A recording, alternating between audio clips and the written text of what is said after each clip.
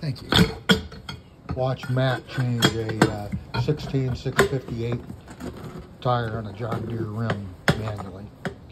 One hell of a guy. One surplus.